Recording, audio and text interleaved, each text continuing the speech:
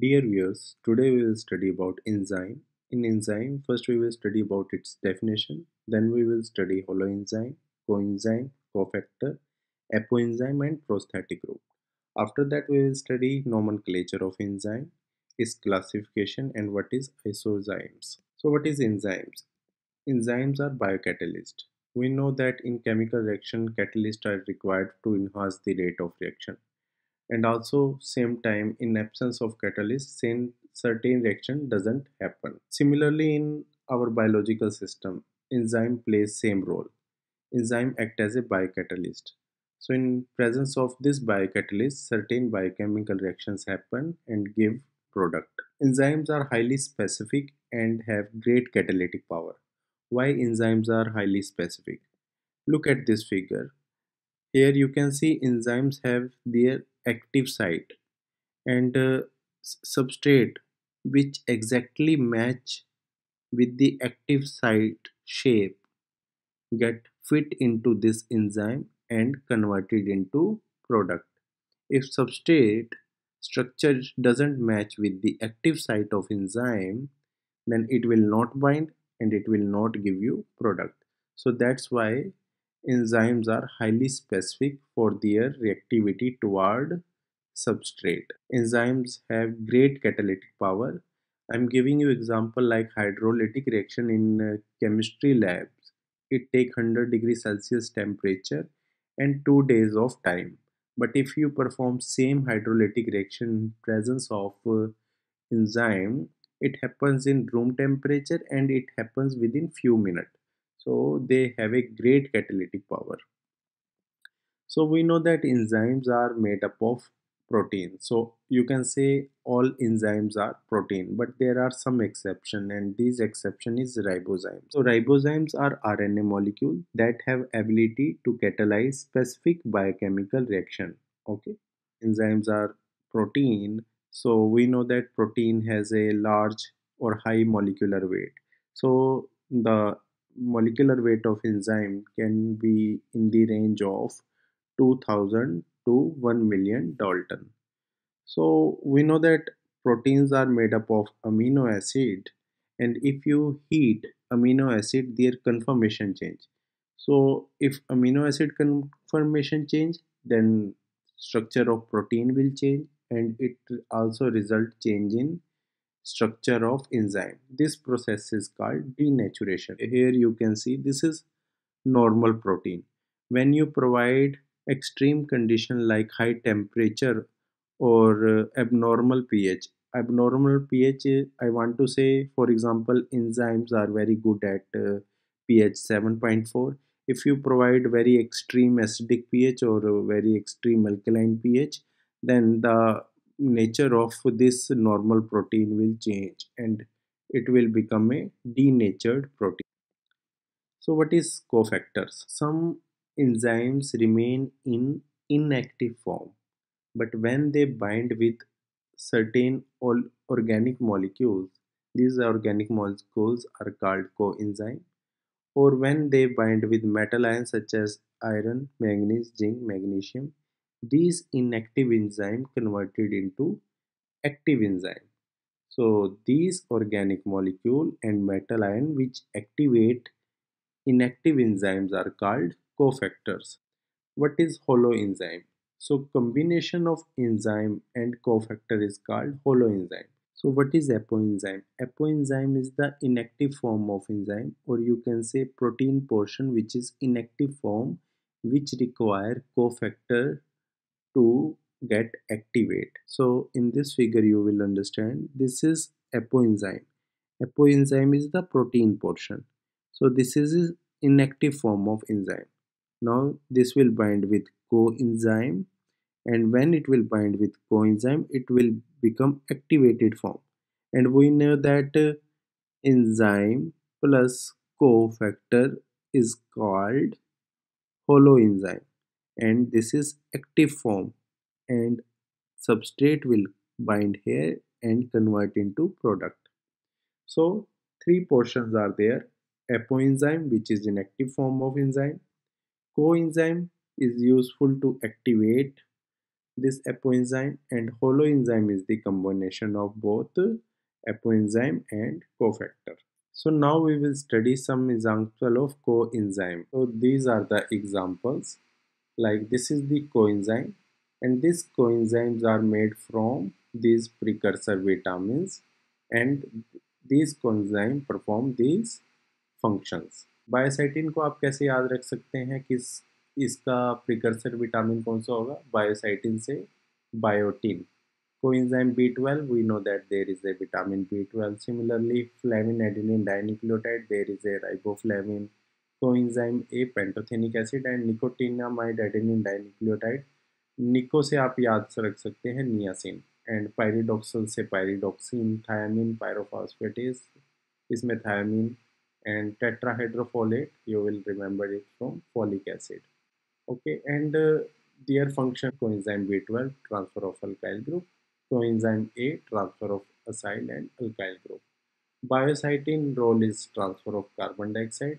and uh, flavin adenine dinucleotide role is transfer of electron NAD has trans role in transfer of hydride pyridoxal phosphate, transfer of amino group, thiamine, transfer of aldehyde, and tetrahydrofolate, transfer of one carbon group.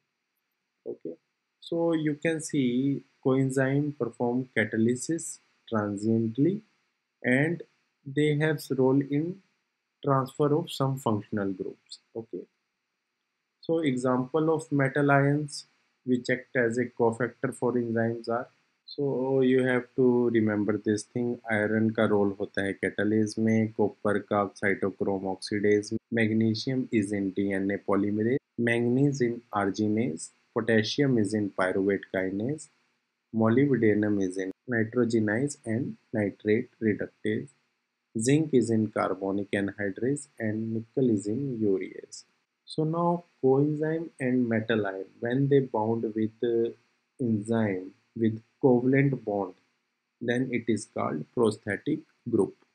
Now we will study nomenclature of enzyme. Earlier whenever scientists discover enzyme then they named the enzyme name in arbitrary manner. For example pepsin, trypsin, chymotrypsin.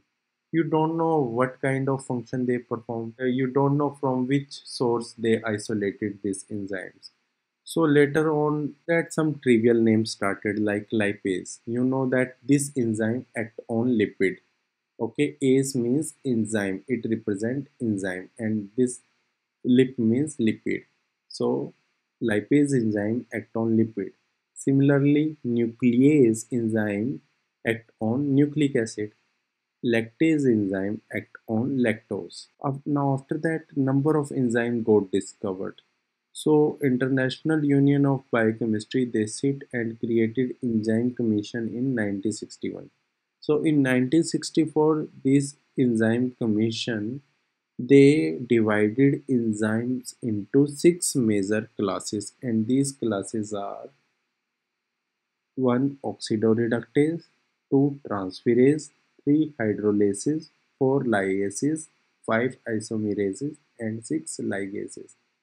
From oxidoreductase, you know that it can perform oxidation and reduction reaction. Transferase's role is transfer of one functional group from one compound to another compound. Here you can see the X group is transferring from A to B in the product. Similarly, hydrolases. Hydrolases role is in hydrolysis of compound. Here you can see A and B get hydrolyzed. Lyase. Lyase role is in addition and elimination reaction. Isomerase's role is in interconversion of isomer. For example, A is converted into A prime. And ligase's role is in condensation. For example, A substrate react with B in presence of ligases enzyme give you A and B product which has one new bond formation. Okay. So example of oxidoreductase are alcohol dehydrogenase. Transferases example is hexokinase. Hydrolases example is lipase. Lyases example is aldolase. Isomerase example is triose phosphate isomerase. And ligases example is glutamine synthetase. So here you can see E dot C dot 1.1.1.1 point and here E dot C dot 2.7.1.1 point. What is the meaning of this E dot C? E dot C is enzyme commission. This 2 represent the hexokinase belongs to transferases class. So transferase is at number 2.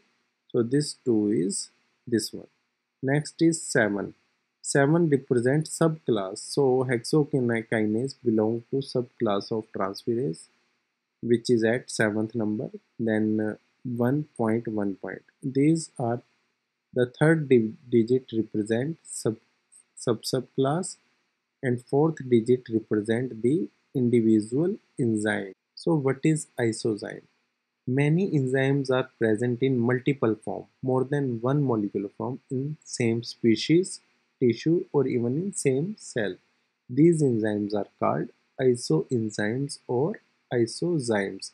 For example, there is enzyme A. That enzyme can exist in A1, A2, A3, A4 form within same cell, tissue or within same species. So you can understand from this figure here you can see this is one enzyme so this enzyme looking like this but there is one small difference this enzyme also look like this but there is small difference okay? So isoenzyme catalyze the same reaction but have different amino acid composition hence possess different physiochemical properties. So if the amino acid composition is different it is understandable that their physiochemical property will be different but they have different amino acid but they perform same reaction. From this picture you will understand. Here you can see this one is exactly matching with this one. But they are different in term of color because they have different amino acid composition inside them. But they are eating same substrate and converting this same substrate into product. Here you can see this purple color, light blue color and green color isozymes converting same reactant into product. So some example of uh, isozymes are glycolytic enzyme like hexokinase. It exists in four different forms. Lactate dehydrogenase which perform anaerobic glucose metabolism has two isozymes in human. One is present in heart and other is present in skeleton muscle. So here I will finish today topic on enzymes. Thank you for watching this video guys.